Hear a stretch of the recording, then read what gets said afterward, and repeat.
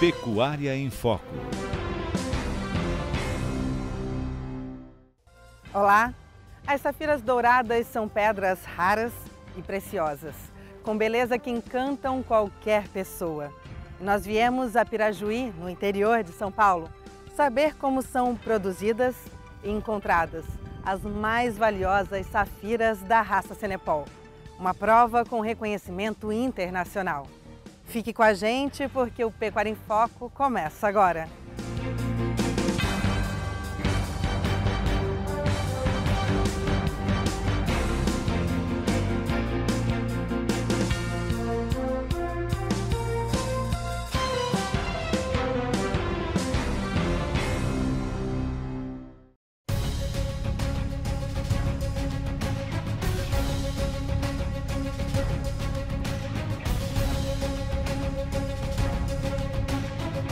A Fazenda da Grama traz em seu DNA a união do homem com a natureza, a ciência e muito trabalho.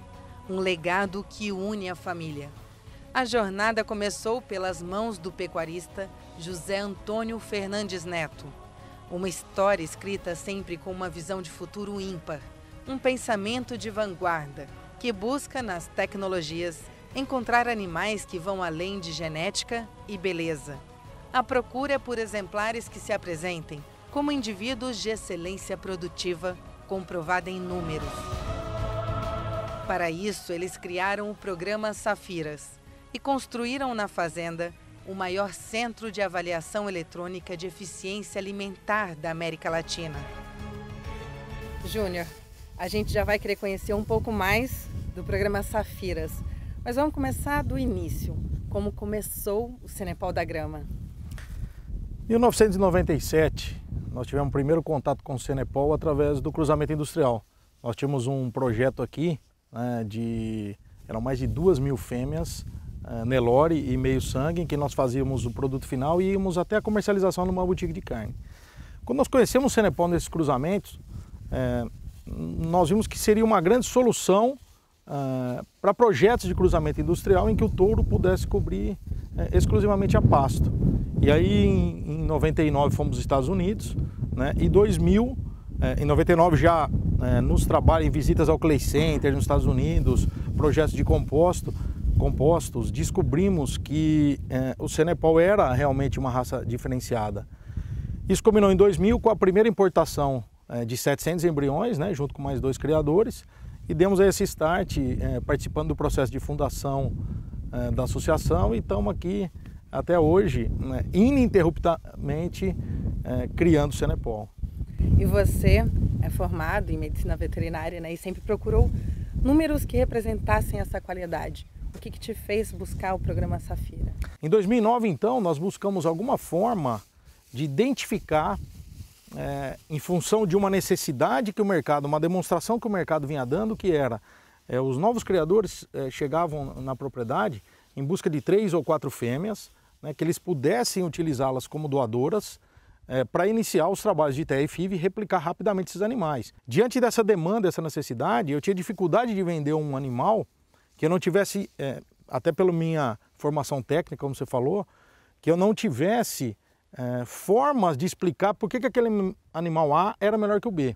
Nasce em 2009 o programa Safiras com, com esse objetivo de encontrar realmente as doadoras que eram é, em cima de características economicamente significativas na pecuária de corte, aqueles animais superiores. Quem são os parceiros que viabilizam né, para que sejam programas realmente provados, que tem até já reconhecimento internacional?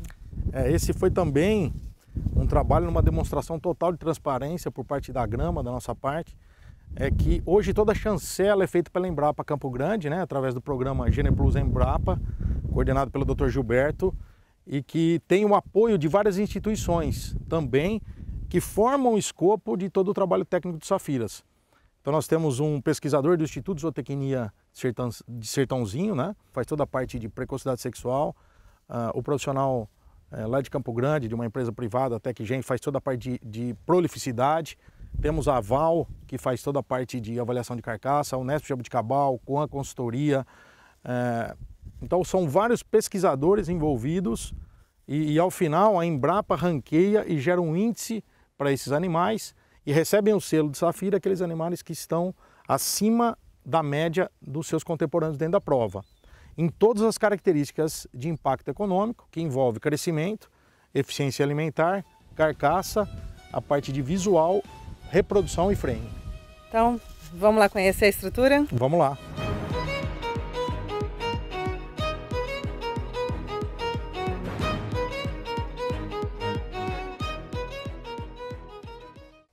E depois do intervalo tem muito mais deste importante projeto e o leilão Safiras. Não saia daí!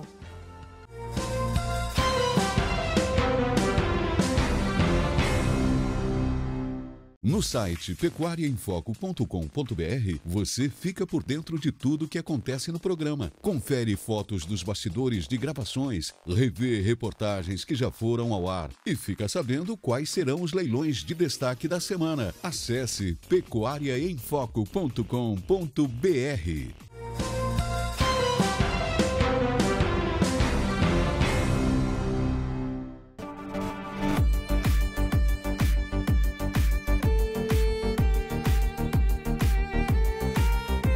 Este é o centro de avaliação eletrônica do programa Safiras. Agora ele está vazio, mas as candidatas a futuras doadoras já estão chegando. Atualmente acontecem duas etapas por ano, com capacidade para 500 animais em cada edição. Já foram avaliados mais de 1.800 exemplares, sendo o maior banco de dados em quesitos para corte de fêmeas avaliadas no mundo.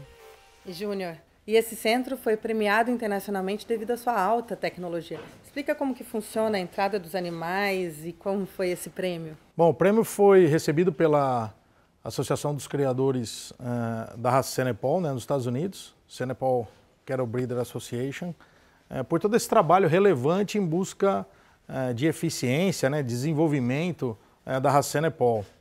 A estrutura aqui tem o objetivo de avaliar essas fêmeas uh, por um período aí de quatro meses, em, em, nas seguintes características. Né? Então, primeiro nós temos aqui toda a parte de ganho de peso. Né? Cada, cada coxo desse é um, é um coxo balança, os animais têm um chip né, eletrônico, e quando eles entram por essa, uh, por essa abertura, né, por cada uma dessas janelas que a gente está vendo, eles são automaticamente identificados. Então, quando ele entrou, automaticamente você tem a tara, né, como se fosse um prato de comida, e ao final você sabe quanto ele comeu.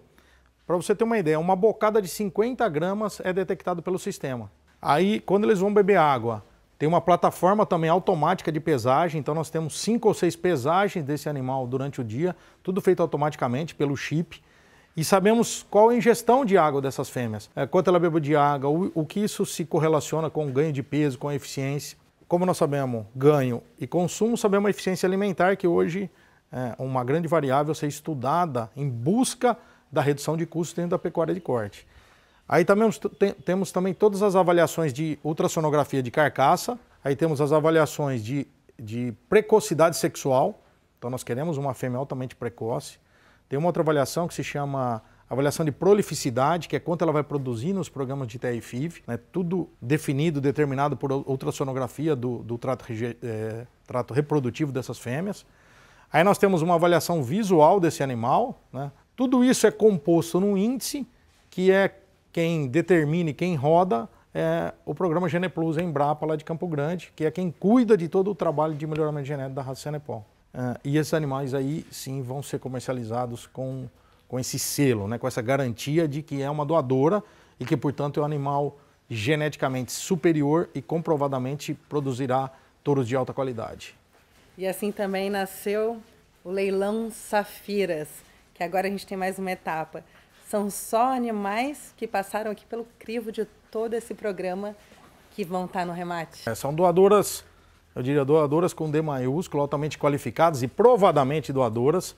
Né? São, são 40 lotes, Safira, Safira Top 10. O que vai para o remate é exatamente isso. Animais que receberam o selo de Safiras e que, portanto, estão totalmente credenciados e chancelados por uma instituição de pesquisa como a Embrapa, né, e todo esse, esse hall de técnicos e empresas envolvidas para serem comercializados como doadoras no remate. Então, deixa um convite para quem está assistindo a gente que acompanhe pelo canal Rural e adquira a sua Safira. Fica aqui, né, a você que nos acompanha, é um convite muito especial para acompanhe e participe do leilão Safiras do Senepol no dia 29 é, de junho, 21 horas, pelo Canal Rural.